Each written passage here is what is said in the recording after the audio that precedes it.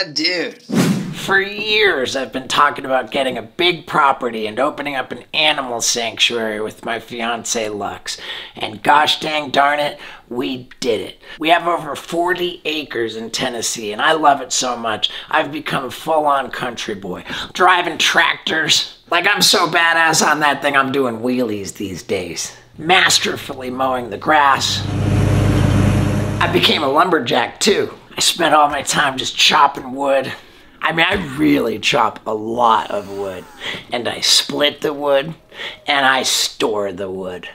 And oh boy, do I burn the wood. I just sit there staring at the fire. I call it caveman television. We wasted no time getting animals. We already have two pigs, Fonzarelli and Lulu. Come on, good girl! And a ranch cat named Rocky who follows me around the one mile long trail that goes around the property. It's epic. Ladies and gentlemen, our first new barn. We're actually doing it. I was just out there by myself for a while, but then my buddies showed up and we started getting rad. One of the first things we did was buy a couple bows and arrows so we could find out who's the best archer. And I do believe that would be me. Get this fucking on my back.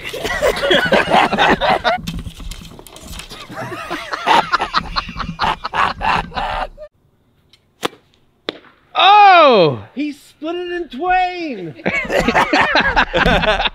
Then we installed a basketball hoop to find out who's the king of one on one, which turned out to be Scott Randolph. Ah. Oh, He celebrated with a victory lap in the new UTV we got. Yeah, dude, that thing's fun, man. And of course, after all of that activity, we wanted to relax in the new hot tub that we got. So we inflated this outrageous 30 foot screen and we loaded up one of Johnny Knoxville's best movies. I really think it was his bravest role and his most touching performance. We watched The Ringer, and it has stood the test of time. No, Jeffy Manley challenge, remember? Uh, And if you've never been in a hot tub, let me tell you about Celtic hot tubs. I paid them a visit. The scale of the operation that they run in that factory blew me away. And that is how a hot tub gets made. I love my Celtic hot tub, maybe even more than the ringer. What I didn't love when the truck got stuck in the grass. Fuck! Being the country boy that I am, I figured I'll just put the UTV in four wheel drive and push it out while Scott gently rides out. But Scott was not gentle.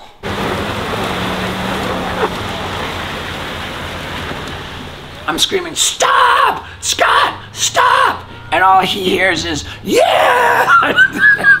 Oh my god. he destroyed our lawn. The whole UTV, plus me and Vinny, covered in mud. Had all of that not been captured on video, I would have been super pissed. Yeah, I'm sorry, and you're welcome. Have any more on my face? No, dude. No? The next morning, we loaded up on the tour bus and headed to Atlanta, Georgia, with me cooking breakfast along the way. And that's how the weight's just fallen off of me. Maybe you remember my obnoxious tour bus with the Steve-O graphics wrapped all over it, which I did all the cool stunts on. Well, we recently took off the wrap, so now we travel with the cloak of anonymity. When we got to Atlanta, we linked up with the rapper Russ to record an epic podcast. And I mean epic. It drops today. You gotta check it out. Would you ever sell your back catalog? No, I got offered. They offered 50. Yeah. 50 what? Million. Wow! After that, it was off to my sister's house in Florida, where her and I filmed the next video for this channel. But then it was back on the road to South Florida, where we linked up with my buddy Kevo, who I dropped out of college with. How long have you known Steve for? 30 years. Really? It's 93, dude.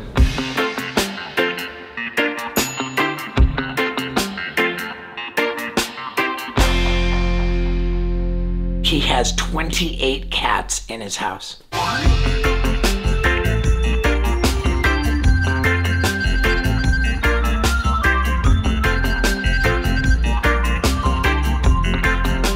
So we can only see 17 of them, but there's really 28. After After picking up Kevo, we went deeper into South Florida, where my dad lives. And my dad has recently come out of retirement to act as my business manager. True story. So, of course, since we were recording a podcast with Patrick Bet-David that day, we were like, why not make my dad the special guest co host? And it was insane. So, there is hope. Shut up, Dad. There's hope. I'm, I'm very hopeful. What a Yeah. freaking podcast! Like they, they ask me, how was that? I'm like, dude, it's exactly what you don't think it's gonna be.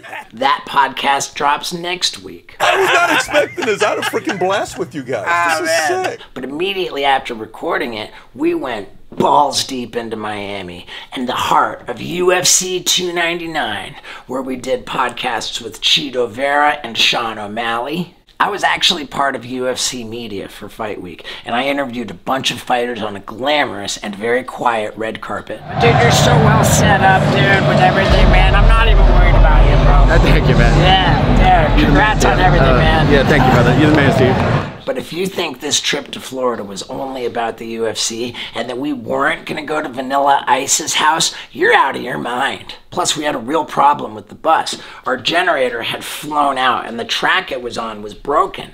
And who else was going to fix it? Oh my god, you really gonna film it? Yeah, this is sick. I'm trying to snap this bolt off here so you can put your generator in.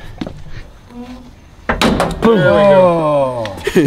hey, if there's a problem, yo, I'll solve it. There you go. That's right, he solved it. Then he showed us his cars in the garage, his helicopter landing pad. Get All on right. up and let's go. All right. But we had to get back to Miami for the fights, and they were epic too.